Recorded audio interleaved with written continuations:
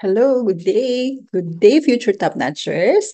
I am teacher Suzette Ancheta. You can call me Ma'am Zet. So I'll be having a series of lectures to help you prepare or even ace your board exam. So katatapos ko lang mag-board exam. I took it last June 2024 dito sa Dubai. I took SPLE LET this 2024 and na-bless po tayo na maging top 1 nung nakaraang board exam. So, I got an average of 92.60. So, to give back and share my blessings, so tutulungan ko rin po kayo na makapasa sa inyong board exam.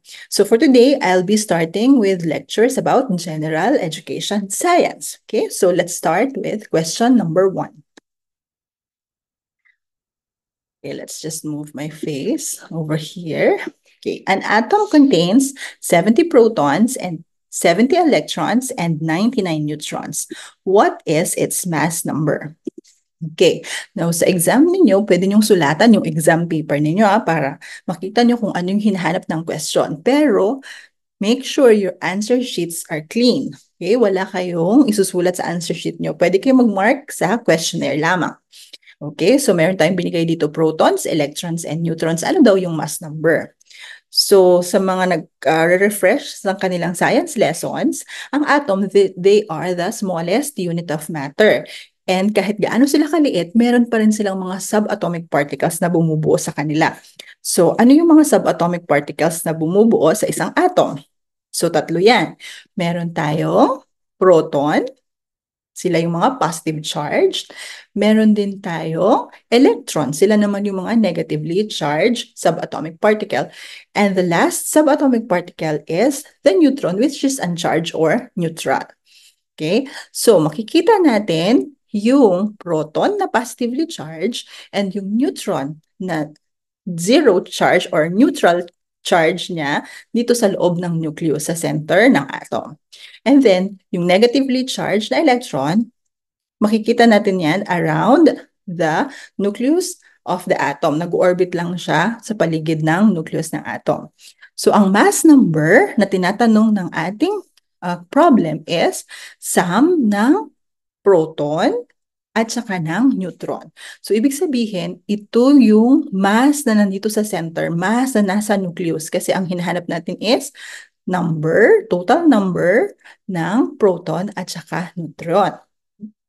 Proton at saka neutron, tama. Nilagay ko na dito yung summary para hindi kayo malito. Ang atomic number equal to the number of electrons at sa neutral atom kapareho rin siya ng number of electrons. So, dito sa example, sabi niya, 70 ang protons. So, ibig sabihin, pag tinang, tinanong tayo, ano ang atomic number? 70, kasi 70 yung protons niya. At ilan yung number of electrons? 70 rin, kasi equal lang ang number of protons at number of electrons. Okay, so balik tayo sa problem. Paano daw natin makukuha ang mass number? Number of protons plus number of neutrons. So, isi simply, anong gagawin natin? Just simply add 70 plus 99. Okay, so that is number of protons plus number of neutrons, or you can also put it as atomic number plus the number of neutrons. So 70 plus 99, we have 169. So the answer for number one is 169. That is the mass number. Okay? So, itry natin kung naintindihan yung concept ng subatomic particles. Okay. Yan, nandito ulit yung summary ha. Pag sinabi natin atomic number, it refers to the number of protons, which is also equivalent to the number of electrons in a neutral atom. And pag sinabi natin mass number, yun yung mass or yun yung number ng protons plus the number of neutrons. Excuse me. Okay, let's try the element calcium. Okay, calcium has a, a symbol Ca and its atomic number is 20. So, pag may atomic number tayong 20, i-fill out muna natin yung kapareho niya ng um, equivalent number niya. So, atomic number is equal to the number of protons. So, ang number of protons din natin dito would be 20, tama. And then, yung number of electrons, the same as the number of protons in a neutral atom, So, 20 din siya. So, missing natin is mass number. So, saan natin makukuha yung mass number? I-add natin yung number of protons plus the number of neutrons. So, 20 plus 20. So, what's the answer? for that column, that is 40. So 40 ang mass number ng calcium. Okay, so we proceed with the next example, nitrogen. Sa nitrogen, sa example natin, missing ang atomic number. Pero given ang number of protons. Okay, so since the atomic number refers to the number of protons, we can also say that the atomic number is also equivalent to 7. And number of electrons na mawala din. So, 7 din yan. Kasi pareho lang naman sila ng proton at saka ng electron. And then, yung mass number, paano natin kinukuha? Number of protons plus number of neutrons. Eh since dito sa second problem natin, meron tayong mass number, pero wala tayong number of neutrons. So, ang gagawin natin is 14 minus 7. So, is equal to 7. So, kung i-check nyo, di ba? 7 plus 7 you'll come up with your mass number 14. Okay? Sana naintindihan na, no? Mabadali lang yung concept ng atomic numbers and mass number. Okay? Kung may mga questions kayo or additional inputs, pwede niyong ilagay sa comment section. We proceed to question number two. Which of the following refers to a community of living organisms interacting with non-living things in the environment? Is it A, population, letter B, community, letter C, ecosystem, or letter D, organism? Okay, so hinighlight ko ito, community of living organisms interacting with non-living things. Kasi ganun ako sa exam, no? hina-highlight ko yung tinatanong doon sa question. So, the answer for number two is ecosystem. So, i-recap natin yung concept ng um, ecological classification. So, this is an image para matulungan kayo ma-visualize yung concept ng ecological classification. So, when we refer to an individual, it refers to a single organism, may it be plant, an animal, a fungus, or any living being, single, di ba? Individual, it's only an organism.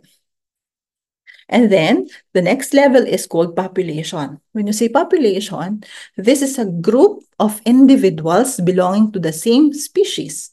So mag ito yung uh, halimbawa population ng humans. Okay, pare-pareho, 'di ba? Pareho silang species ng humans.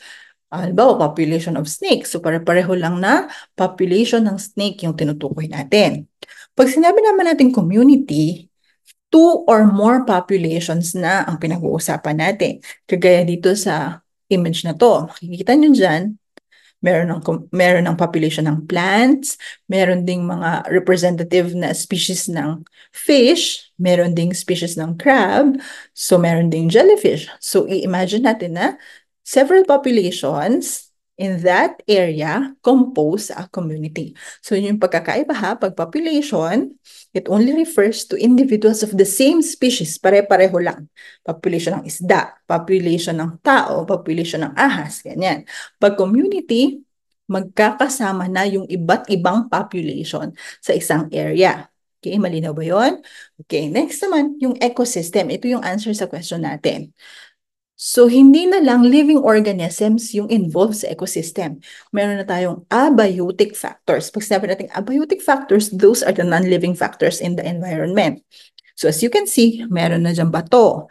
Meron na din dyan water. Ang ibig sabihin, itong mga organisms na to sa community, nakiki-interact na sila sa abiotic factors ng environment. So, it makes up an ecosystem. Okay? So next, doon sa ating ecological classification, pag akyat natin, mas diverse would be the biome. Ano naman yung biome? Nagkakaroon tayo ng biome sa isang area, for example, um, dahil doon sa certain area na yun, may specific type of climate. So magkakaroon ng specific type of plants, specific type of animal na pwedeng tumira doon dahil merong specific na climate doon sa area na yon. Okay, so again, biome is any um, geographical region with a specific climate that gives rise to a specific type of vegetation and animal life. Okay, so to make this clearer, ang example ng biomes, we have the rainforest. Pag rainforest, madalas umuulan Diba? Mataas ang average temperature. So ano yung klase ng mga halaman at mga hayop na ma makikita natin doon? So yun yung bubuo doon sa biome na yon. Okay? Another type would be desert biome. So sa desierto, ano ba yung characteristic ng klima sa desierto?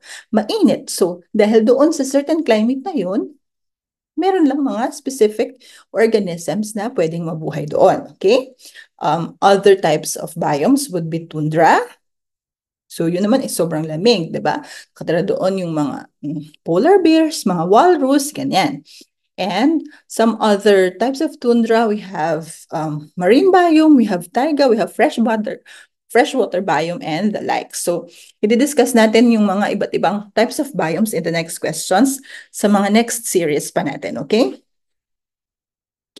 Medyo hiningal ako, buntis kasi ako ngayon, naiipit yung aking tummy. So, sana wag kayong ma-distract sa aking paghingal, okay? And then the next level in our ecological classification would be the biosphere. So, bio, meaning life, di ba? So, this biosphere um, simply means, simply refers to the part of the earth where life exists. So, meron dyan part ng atmosphere, Okay? May part ng hydrosphere kasi sa tubig maraming organisms din, di ba? And part din dyan yung lithosphere kasi marami rin mga land, plants, and animals. So basically, biosphere refers to all parts of the earth where life exists. Okay, so ito yung summary ng ecological classification. Sana ay malinaw, no? Ang nalilito lang sila sa mga drills dito, karamihan is yung definition ng population, community, at saka yung ecosystem, ha? Kaya huwag kayong malilito doon. Pag population, same species lang. Same species. Pag sinabi natin same species, sila yung capable of interbreeding and producing fertile offsprings. Sila lang yung tinutukoy sa population. Pag community, dalawa o mahigit pang population na nakatira sa isang area. Okay? At pag ecosystem naman, nandoon na kailangan yung yung phrase na interacting with the non-living components of the environment or non-living kung walang non-living kayong makikita, yung abiotic factors in the environment. Okay? So, let's move my face on the other side para makita niyo yung aking, aking YouTube channel, Abet and Zet. Ah, mag-subscribe na rin kayo dyan ah, para makontinue natin yung ating advocacy na ganahan tayong gumawa ng mga videos para makatulong din tayo sa mga next takers. Okay, we proceed to question number three. Okay, ito rin, laging suki sa mga review drills. In the hierarchy of biological taxonomy, which is found at the top and considered to be the most inclusive. Okay, which is found at the top and considered to be the most inclusive. Ano kaya yung most inclusive? So encompassing, it, co it covers almost every, all the organisms, no? Kasi lahat siya inclusive, di ba? So ano kaya yan? Domain, kingdom, phylum, or class? Okay, the answer is domain. So, sa mga bago pa lang sa concept na to, i-picture nyo itong inverted pyramid na to. Okay? Sa taas, domain. So, kita nyo, di ba? Yun yung pinaka-broad. And then, papunta sa least, least inclusive, least inclusive, papuntang species. So, pag pina-arrange kayo, halimbawa, arrange from the most inclusive to the least inclusive. So, pag ganyan yung i-imagine yung picture, mauna yung domain, last yung species. So, titingnan nyo mabuting question ha. Pag naman ang tanong, arrange from the least inclusive to the most inclusive. So, pabaligtad naman kayo, di ba? Dapat pa-widen yung inyong spectrum kasi from the least inclusive to the most inclusive. So, ganun ha. Be careful with the question kasi nire-rephrase lang naman nila yan. Kung halimbawa, nakalimutan ninyo itong mga taxonomic levels of classification, no? itong domain, kingdom, phylum, class, order, family, genus, and species, may ginagamit tayong mnemonics para dito. Ito yung, Dear King Philip came over for good soup. Okay? Pwede kayong gumawa ng sarili nyo, no? pero ito yung familiar mnemonics for the taxonomic level of classification. So, walo yan ha, tandaan. Tinatanong din kung ilan yung levels ng taxonomic classification. So, eight ang answer doon. Dear King Philip came over for good spaghetti. So, domain, kingdom, phylum, class, order, family, genus, and species. Okay, don't forget that. Okay, let's try this one. Okay, I'll show you the picture para meron muna tayong reference habang nag-start pa lang kayo ng review. So, ang question, arrange from the least inclusive to the most inclusive. So, paano natin i-arrange? Ito lang yung given ha, na, na, na ranks, taxonomic ranks. Ito lang apat, iayos natin from the least inclusive to the most inclusive. So, family, species, order, and genus. So, least inclusive. So, magsisimula tayo sa baba, di ba? Least papunta pa widen, most inclusive. Doon sa inverted pyramid natin, mag-umpisa tayo sa baba, least inclusive to most inclusive. Okay? So, refer tayo ulit dyan. Ano yung pinaka least inclusive? Okay? Yun ay species. So, therefore, unahin natin yung species. Anong susunod? Genus, and then family, and then order. Okay? So, yan ang magiging answer natin if that will be the question. Okay, so species, genus, family, and order. That is a sequence from the least inclusive to the most inclusive. Next, this one naman. Arrange from the most inclusive to the least inclusive. So, paano natin i-arrange tong apat na to? Class, order, phylum, and family. So, kailangan mula tayo sa taas, di ba? Most inclusive to the least inclusive. So, most inclusive. So, magsisimula ako sa Dear King Philip. Di ba? Dear King Philip. Kasi yun yung una sa mnemonics ko. Dear King Philip. So, anong nauunang meron lang dito? Wala siyang D, wala siyang K. So, Philip is for phylum. So, therefore, mag-start ako sa aking sequence with phylum. Dear King Philip came came. So, after ng phylum ko is class, then over. So, that would be order for. Okay? So, therefore, ang magiging answer natin dito, kung ito yung mga binigay sa atin is from phylum, class, order, and family. Okay? And the next, which level includes all others? Ito yung susunod na question, ha? Which level includes all others?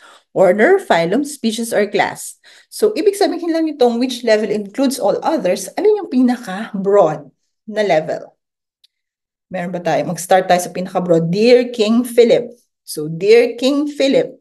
Walang D, again, walang K. Pero meron tayong Philip. So, Philip stands for phylum. So, ibig sabihin, ang inclusive of this given options would be phylum. So, phylum yung i-answer nyo sa question na yon. Okay, naintindihan? I hope so. Okay. Another question, di ba? Isang concept lang pero ang daming pwedeng ipalabas na question para dito. Okay, so how many levels are there in the taxonomy of biological classification? Ilan ngayon? Walo. Di ba? May mnemonics tayo doon, yung ating J. King Philip. That would be eight levels of classification. Okay, and then next, Oh, ito, analogy. If chordata is to phylum, then primata is to Okay, ano yan? Titingnan natin dito sa ating um, figure. Chordata is to phylum. So ito yung first part ng ating analogy. If chordata is to phylum and then primata is to primates is here. So the answer is uh, order. Okay?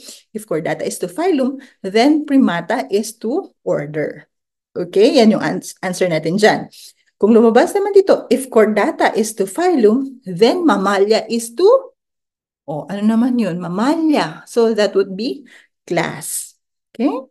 So kahit na ito lang um, levels ng classification ng human, at least familiar kayo kung saan tayo nabibilong na domain. Tayo ay nabibilong sa domain Eukarya. We are under kingdom Animalia, phylum Chordata, class Mammalia, order Primata or primates, then family Hominidae, genus Homo, and species Homo sapiens. Okay, so ang answer dito is order. Okay, again, pag, ang, pag na-revise naman to, if mammalia is to class, then primata is still, the answer is order. Okay? So, ganyan yung mga pwedeng possible questions na lumabas regarding concept of taxonomic classification. All right, so let's proceed with the next question. What scale is used to describe mineral hardness? A, is it Richter scale? B, Mercalli scale? Letter C, carbon dating? Or letter D, Mohs scale?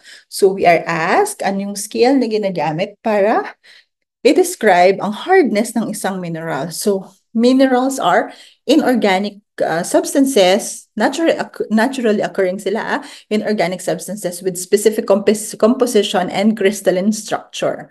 So example yan, yung mga diamond, quartz, mga ganyan. Okay, talc, ganyan. So, ang ginagamit nating scale dito would be the Mohs scale. So, ganito yung itsura ng Mohs scale. It has a scale ranging from 1 to 10. Okay? So, based on this scale, ang pinakamalambot or the softest mineral is called the talc. Ito yung mga ginagamit natin sa ating mga talc powder, right? And based on this scale, the hardest mineral is diamond. Okay, so pag tinanong, based on the Mohs scale, which is the hardest mineral? Uh, the answer is diamond. And what is the softest mineral? That would be the talc. Okay? So, madali lang naman tandaan ito kasi sampu lang naman, no? Sa mga hindi science majors, pwede nyo nang hindi i-memorize to, but this is a must for the science majors, okay? So, ang Mohs scale, this was named after the scientist, mineral mineralogist Friedrich Mohs. So it is a measure that shows the resistance of a smooth surface to scratching or abrasion. Yan, titingnan natin halimbawa yung diamond, pwede niyang i-scratch ang corundum. Yung corundum naman, pwede niyang ma-scratch yung topaz kasi mas matigas, di ba? Yung corundum sa topaz. Mas matigas yung diamond kesa sa corundum. So, pag ganun yung scale niya. Okay? Yung, yung gypsum naman, ang ano yung pwedeng makascratch sa kanya? Scratchable with fingernail. So, hindi siya ganun ka um, hard yung mineral na yon no? So, makikita natin dito kung ano, ano yung mga pwede natin gamiting materials para makascratch sa mga materials or sa mga mi certain minerals. Okay? Uh, pinapakita naman sa table na to yung mga certain uses ng mga iba't ibang mga minerals. So, pwede nyo na itong basahin at um, i-browse nyo lang, no? Para meron kayong ma-familiarize kayo sa mga gamit ng mga minerals na to. Okay, yung iba naman dito is familiar na. Um, by the way, itong sa number 6, minsan ang nakalagay dito is feldspar for the science majors. Ay, minsan hindi orthoclase, minsan is feldspar. But it is, it refers to the same mineral, orthoclase or feldspar. Okay? So that's it. The scale that we use to measure the mineral hardness is called the Mohs scale, which has a scale ranging from 1 to 10. Okay, we proceed to the next number. This one is fairly easy. The study and science of heredity is called A. Pathology, B. Pediatrics, C. Taxonomy, or D. Genetics. Okay, the answer is, of course, it is genetics. So who is the father of genetics? It is none other than Gregor Johann Mendel. Okay, siya yung tinatawag nating father of genetics. Um, dahil sa kanyang study, naggumamit siya ng mga pea plants, di ba? At nakapag-develop siya ng mga laws of heredity or laws of inheritance. Kaya sa kanya na ibigay yung title na father of genetics, sometimes father of heredity, that is also Gregor Mendel. Okay? So, common question ito, huwag kakalimutan si Gregor Mendel, okay? Father of heredity or father of genetics. Okay, next question is also related to heredity. So, we proceed with question number six.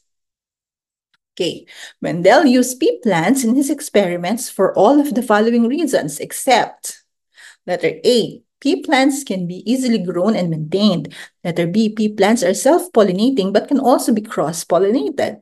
Letter C, it has several contrasting characteristics. Or letter D, it has unusually long generation time. So, tandaan natin ha. Sa question number 6, ang tinatanong dito is yung exception.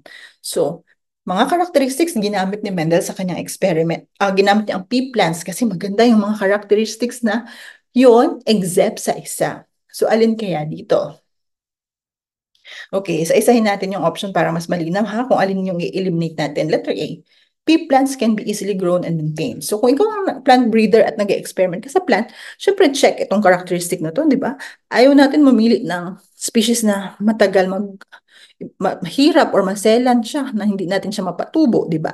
Mahirap tayong kumuha ng result ng experiment na yon. Okay? So check yung letter A, hindi yan exception. Magandang characteristic yan. Letter B, pea plants are self-pollinating but can also be cross-pollinated. So check din ito kasi pwede nating makontrol yung mating. Si Mendel ginamit niya yung plants na para makontrol niya. Halimbawa, gusto niya makita kung ano yung result na flower color. So, pipili siya ng plant na may white flower, tapos pipili siya ng plant na may purple flower, tsaka i-cross niya. So, kaya niyang i-control yung mating. So, yun din ay isang magandang characteristic ng pea plants. Okay? Next, it has several contrasting characteristics. So, dun sa pag-aaral ni Mendel, gumamit siya ng pea plants. Seven characteristics ng pea plants. Kasi nga, maganda dahil mabilis na lang nakikita yung mga um, results of spring kasi very contrasting yung characteristic. For example, sa um, seed form, round ba or wrinkled? Agad yung nakikita, di ba? For example, sa seed color, green ba or yellow? O, yung pod form, round or wrinkled? Ganyan, pod color, yellow or green? Yung stem height, tall or short? um, ano pa yung, bali 7 yung characteristics niya. So, ano pa, yung position ng flower. So, terminal ba or eggshell yung position ng flower? So, yun yung mga characteristics na ginamit ni Mendel. So, A, B, and C, correct. Therefore, we are left with letter D. It has an unusually long generation time. Anong ibig sabihin ng long generation time? Ibig sabihin matagal yung life cycle ng halaman. So, hindi ito, actually false statement ito kasi ang pea plants, it's an annual plant, so madali lang, maliit lang yung kanyang, ikli lang kanyang life cycle. So, ibig sabihin, madali siyang mag-mature, madali, madali niyang makita yung result ng mga crosses niya sa offspring, no? So, mali ito, Letter D, because pea plants have short life cycle. So ito yung sagot natin sa number 6. This is the only exception. Lahat ay magagandang characteristics ng pea plants kaya yun ay ginamit ni Mendel. Okay. So let me have my water break first. Hinihingal na po ang buntis. Okay. Let's proceed. Okay. Scurvy is a disease caused by what vitamin deficiency. Okay, is it A, is it caused by deficiency in ascorbic acid? Or B, niacin, C, calciferol, or D, thiamine? So, name ng vitamins yung binigay. So, siguro kung yung um, vitamin A, B, C, ganyan, mas madali nating ma-answeran ito, no? Pero, yung answer naman natin is very common. Ascorbic acid, alam naman natin yan yung vitamin C. Okay? So, pag kulang tayo sa vitamin C or ascorbic acid, ang disease na pwede nating ma, um, mag, pwede tayong magkaroon ng scurvy. Okay? Yung niacin naman, this is actually vitamin B3. And kapag meron tayong vitamin B3 deficiency, it will result to a disease called pellagra. Okay. Calciferol, anong hula nyo dito? Calciferol, this is actually the name for vitamin D. And for children, they may have rickets. And for adults, it may result to osteoporosis. And thiamine, this is for B1. And the deficiency would be called beriberi. B, beriberi. Okay, so the thiamine is specifically vitamin B1. So we have uh, different vitamin Bs, no? Hanggang B12 tayo. Okay? But for this specific question, tandaan natin ha, scurvy, vitamin C. Okay? So let's proceed to question number 8. Which branch of biology is concerned with naming and classifying organism? Okay, letter A, mycology. B, taxonomy. C, cytology. D, entomology. Alright. So, ganito mga type ng question, makakatulog din sa pag-answer nyo ng um, exam, yung word origin. Kung medyo maalam kayo sa mga Latin prefixes, mga ganyan, pwede nyo i-apply dito. Okay? So, ang answer dito, naming and classify classifying organisms would be Taxonomy. Ay, bakit na-press na agad? So, taxonomy ha, yung naming and classifying organism. Taxon. So, na um, classification. Okay, that is the answer for number 8 is letter B, taxonomy. Yung mycology, yeah, this is the study of fungi. And we, when you are asked what is cytology, it refers to the study of cells. And entomology naman, entomology. This refers to the study of insects. Okay? So maraming branches ang science, no? So isa-isa, kunti-kuntiin natin yan hanggang matapos natin yung ating lecture series, no? Yung mga common lang na lumalabas would be yan, taxonomy, genetics, cytology, mycology. So, isa-isahin natin. Mamamaster nyo rin yan, okay? Mahaba-haba pa naman yung um, review period nyo kung mga March takers yung nanonood dito, no? All right. So, next, number Oh, okay. Meron tayong isang reminder dito na kasi lagi ito ding lumalabas sa exam, no? Father of ancient taxonomy. Pag tinanong, who's the father of ancient taxonomy? That would be Aristotle. Aristotle is also considered as the father of biology, no? Tapos sa mga uh, philosophical foundation sa Prof. Ed, nandiyan din lagi si Aristotle. Okay? Pero sa science, pag sinabing father of ancient taxonomy, that would be Aristotle. Pero pag ang tanong, father of modern taxonomy, that would be Carolus Linnaeus or Carl von Linné. Okay? Minsan may analogy. If Aristotle is to ancient taxonomy, blank is to modern taxonomy. So the answer would be Carl von Linné or Carolus Linnaeus. Okay? So yun yung common question pagdating dito sa mga propone or mga um, titles sa mga nag-study ng taxonomy. Father of ancient taxonomy and father of modern taxonomy. Okay, we proceed to the next question. Why do most leaves look green in sunlight? Letter A, they absorb green light. Letter B, the blue and yellow light is combined. Letter C, they reflect green light. Or letter D, the white light is given off. So bakit kaya kulay berde ang mga halaman pag natamaan ng um, light? No? Actually, the answer is they reflect green light. Paano nangyari yon ang kulay pala nakikita natin is yung nire-reflect at hindi na-absorb. Okay, so this is an electromagnetic spectrum. No? This shows all the ranges of um, the different types of radiation. So, andyan yung may, meron silang um, magnetic at the same time electro, electric field, no? kaya siya electromagnetic spectrum. Now, yung yung um, range na ini-emit ng sun natin is nandito siya sa visible light no? Yung yung spectrum or yung range na, na ini-emit ng ating sun it gives off visible light. Yung visible light na to ay tinatawag din nating white light. Yung white light na yan is composed of your Roy-Gebiv color red orange yellow green blue indigo and violet. Okay? Now pag uh, itong light na nanggagaling sa sun kapag yung white light or yung visible light nag-strike sa isang object. Kasi sabi ni Newton, actually, ang mga objects is wala naman silang inherent na kulay. Ang kulay na nakikita natin ay depende sa kung ano yung kulay na nire-reflect. No?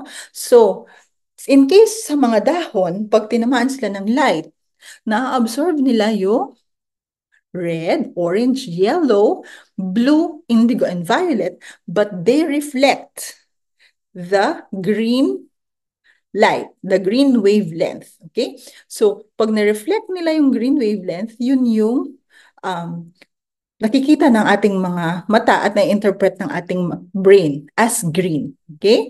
So, lahat ng na-absorb, hindi yun in-interpret. Okay? Lahat ng na-absorb, hindi yun yung magiging color na makikita na ng ating mga mata.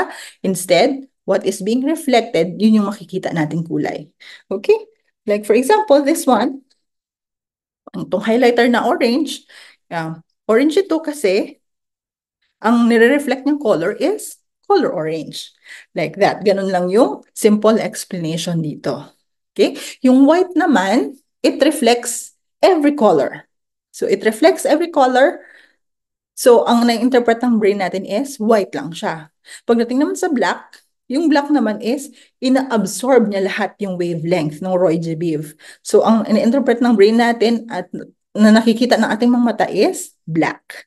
Okay? So again, the main point for this question is kung ano yung nakikita reflect na wavelength, yun yung nakikita nating kulay ng object. Okay, kaya kung babalikan natin yung ating question, why do most leaves look green? Because they reflect the green light or they reflect the green wavelength. Okay, all wavelengths that are reflected, yun yung na-interpret nating kulay. Okay, malinaw?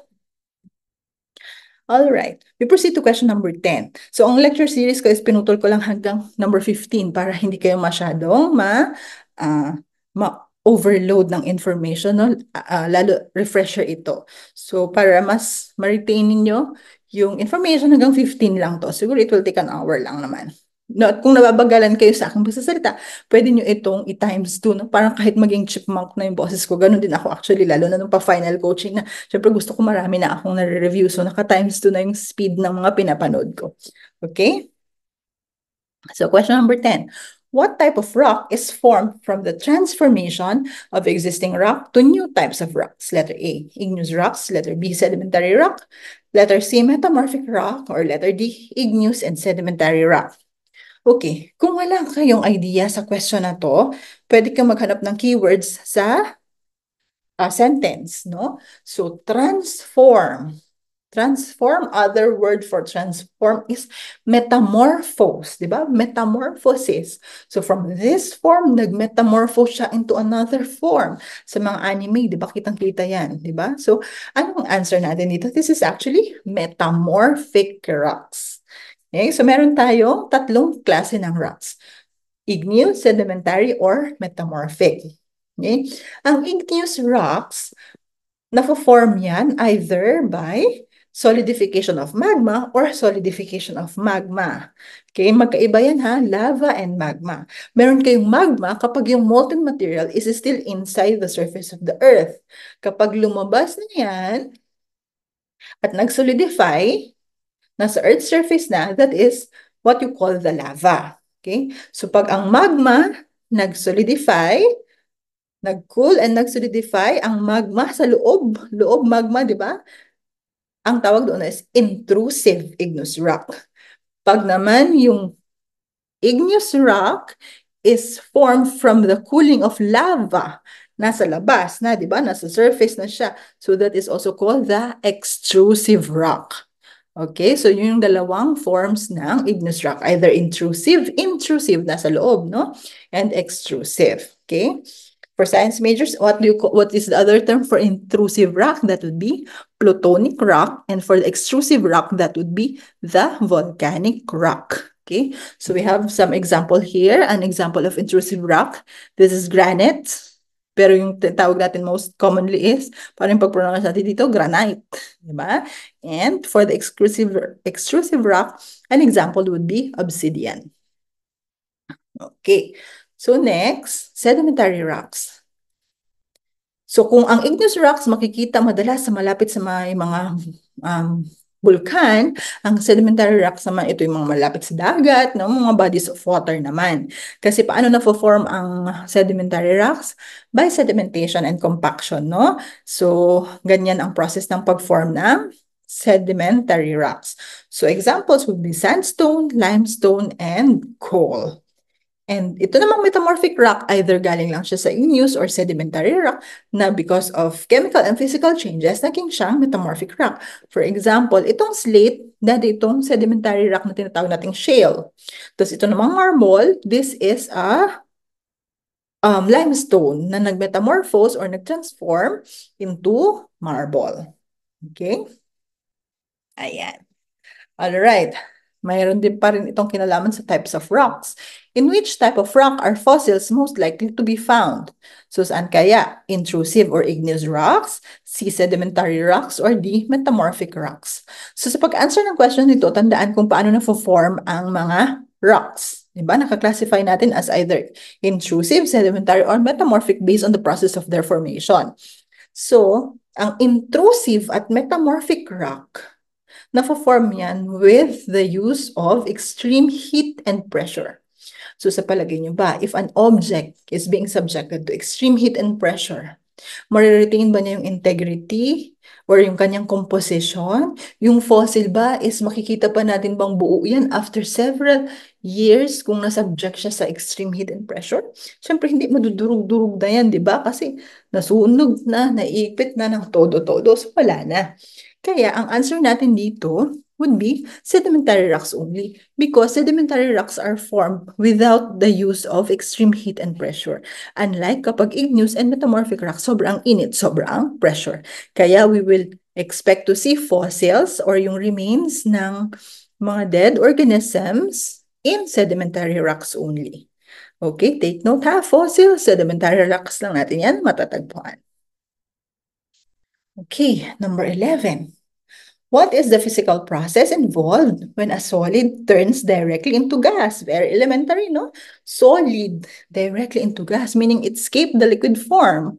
So, the answer is what? Is it A, evaporation, B, sublimation, C, condensation, or D, deposition? The answer is letter B, sublimation. Kapag mula solid, diretso siya sa gas, wala siyang na, na hindi siya dumaan sa pagiging liquid, nag-sublime yung material na yon. Okay? So, i-review natin yung changes in the states of matter. Although, very basic, this is still very common question, no? So, makikita natin dito, when a solid turns into liquid, of course, that is the process of melting. When the liquid turns into gas, that would be evaporation. But when the gas turns back directly into solid, ano na yun? Yung kabaligtaran ng sublimation, that would be deposition. Okay? So ito lang naman yung madalas makalimutan. Deposition and sublimation. Okay? Pag solid, directly into gas, sublimation. Yung parang mga naphthalene balls, di ba? And then, pag gas naman, babalik siya directly into solid without going through the liquid phase, deposition naman yon. Like the formation of frost. That is an example of deposition. Okay? O, pabalik naman. Ano naman ito? Pag liquid into solid, so that would be freezing. Diba? Napakadali naman yan. Tapos pag gas, pabalik into liquid, that would be condensation. Okay? So related ang question number 12 dito. So we have four more questions to go. Which of the following phase changes involves an endothermic process? Endothermic. So pwede niyo yan i-highlight. Guhitan niyo to, endothermic process. Yan, sabi niyo. Isusul, uh, i-highlight ko to para, yan. Endo. Endo means into, inside, di ba? Tapos, thermic, it may refer to temperature or energy. So, ito yung phase change na nag involve ng absorption of heat. Kasi into, di ba? Absorption of heat. So, ano kaya dito? Melting, condensation, freezing, and deposition. Ano kaya? So, i-visualize nyo, practical lang naman tong question na to. So, pag nag-melt ba ang isang bagay, nag-absorb ba siya ng heat? Definitely, 'di ba? Kapag ang kapag ang yellow nilabas ninyo sa labas ng freezer, syempre mas mainit sa surroundings, so ang tendency is the heat will melt the ice. So the melting is a kind of endothermic process. Okay, so again, An endothermic process or endothermic reaction is a reaction that the system absorbs energy from its surroundings in the form of heat. Okay, so in this case, the heat, uh, the ice absorbed the surrounding heat. That's why it melted into liquid water. So kaya yung melting is endothermic reaction. So next is exothermic reaction, a reaction that releases energy from the system in the form of heat. Exo, palabas naman o exo, exit outside towards um, the surroundings. So, exothermic reaction. So, example niyan pag burning of food. Diba? So, it will release heat into the surrounding. So, regarding the phase changes, so ayan, makikita natin ha, itong legend. O, pag yung red arrow, it means heat it is absorbed. So ano yun? Heat absorption, is it endothermic or exothermic? heat absorption is into the system, absorb, it is endothermic. Okay? So, ayan, tingnan natin. Solid into liquid, melting. It's endothermic. Kaya yun yung answer natin, di ba? Yung solid ice, mag-absorb siya ng heat. It will turn into liquid water. Okay? And then, Another one, kapag yung liquid will turn into gas. Pag pinakuluan nyo naman yung liquid water, nag-apply kayo ng heat, eventually, makikita nyo yung steam, di ba?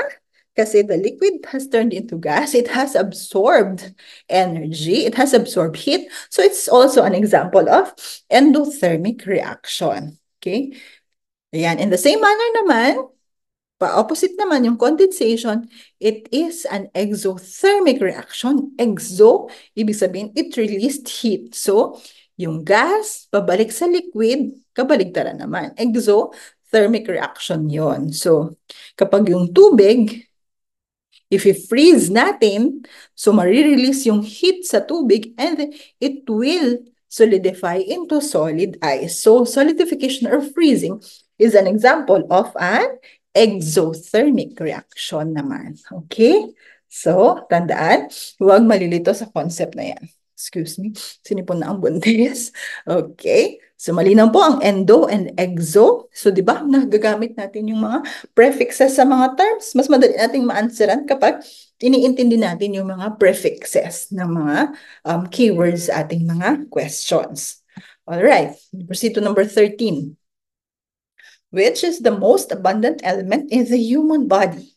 Is it A, oxygen, B, hydrogen, C, carbon, or D, nitrogen? Ano kaya yung pinaka-abundant element sa ating katawan? Okay, the answer is oxygen. Okay, so this figure um, gives us the idea on how much percentage of these elements are present in our body.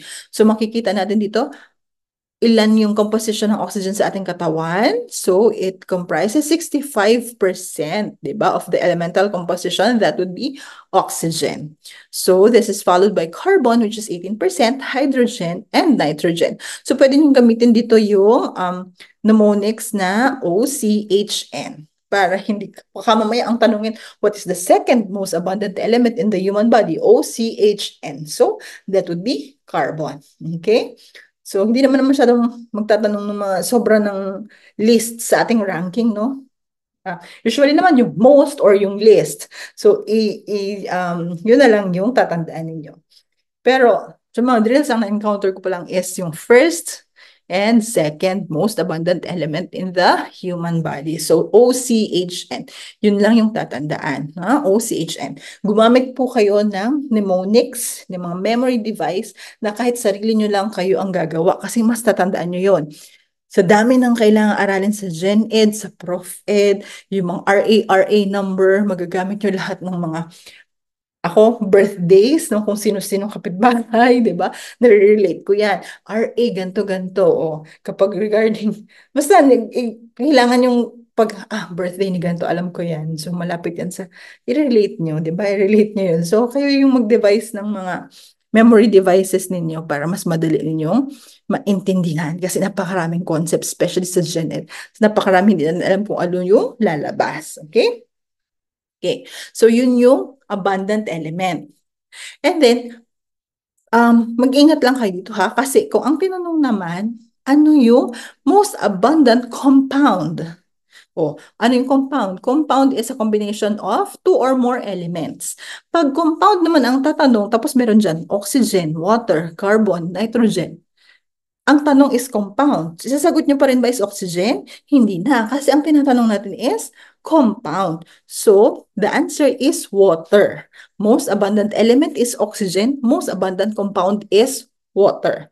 Okay? So, as you can see here, ito yung mga compounds naman. 62% water, 6% ay mineral. Itong water and mineral, they are the inorganic compounds in our body. Itong remaining percentage, 16% protein, fats, and carbohydrates, these are the organic compounds found in our body. Okay? Huwag malilito doon ha. Tandaan, most abundant element in the human body, OCHN. Kapag compound ang tinatanong, that would be water. Specifically, pag tinanong most abundant inorganic compound water, eh paano naman pala pag ang tanong, most abundant organic compound? O ano yung organic compound carbon containing? O, ang sagot naman, based on this, protein. Kasi it is uh, protein and fats also kasi 16% sila pareho. Okay? So, be mindful lang kung ano yung hinihingi ng question. Okay? All right. So, we proceed to question number 14. Okay. What is the full form of the acronym GPS? Okay, may mga ganito din questions sa Gen Ed, no? So, lilituhin kayo, parang alam nyo na, tapos biglang yung mga options parang pareho-pareho. J positioning system, J positioning satellite, global positioning system, or global positioning satellite. So, the answer is Global Positioning System. Alright, pwede rin may question, alin sa mga trabaho na to yung gumagamit ng GPS? Mga option is call center agent, delivery drivers, engineers, teachers. So, delivery drivers kasi sila yung kailangan ng map kung saan sila magde-deliver, right? So, aside from the GPS, may iba ding mga acronym na tinatanong sa board exam. Like laser. So, sino ang nakakaalam ng full form ng laser? It is light amplification by stimulated emission of radiation. Okay? Next is radar or radar. Ano yan? So that is radio detection and ranging. While sonar, oh, sonar. Ano ba yung purpose ng sonar? Para ma hindi nyo makalimutan yung um, definition. So that would be sound navigation and ranging naman. Oh, yung scuba scuba scoop. Ito yung equipment para sa diving, di ba? So this is actually self-contained underwater breathing apparatus. Again, scuba stands for self-contained underwater breathing apparatus. Alright, so ito yung mga common na lumalabas sa exam. So aside from that, um, i-memorize nyo din yung government agencies, malamang. Ah, madalas is pag-asa, FIVOX, and DRRMC, mga ganyan, no? So, i-check nyo rin yan. Okay, we proceed with the last number for the first session. Okay, sana marami kayong naintindihan. Okay, huwag kalimutang mag-subscribe sa ating channel para mas marami pa tayong matulungan, no? para mas ma gumanda yung ating algorithm at makita ng ating mga kaguro na mayroon pa free drill si Ma'am Z. Okay? Last number, what is the most abundant gas in the atmosphere? Okay, kanina yung question number 13 natin is most abundant element in the human body. Now naman, ang question is, gas in the atmosphere. So, nitrogen, carbon dioxide, argon, or oxygen. Okay? The answer is nitrogen. Hindi pwedeng oxygen, no? Ang pinakamarami sa ating atmosphere kasi ang oxygen is combustible.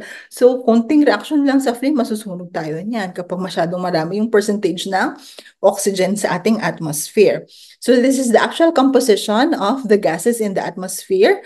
So, 78% is composed of um, nit nitrogen. Okay, so ang answer natin is nitrogen. And almost 21% is oxygen. And the third one would be argon. Okay, and the rest, carbon dioxide and other gases na. Okay, so that's it. Pa-drill ba tayo? Okay, siguro enough muna yan today, no? So, tandaan lang yung mga main concepts na na-discuss natin today. Thank you very much for listening and for being with me up until this point. Sana ay marami kayong natutunan. Pakishare na rin ang ating video lecture sa inyong mga, sa ating mga haguro para mas marami tayong pumasa sa board exam. Okay? See you next session, future top notchers. Okay? Bye! Thank you!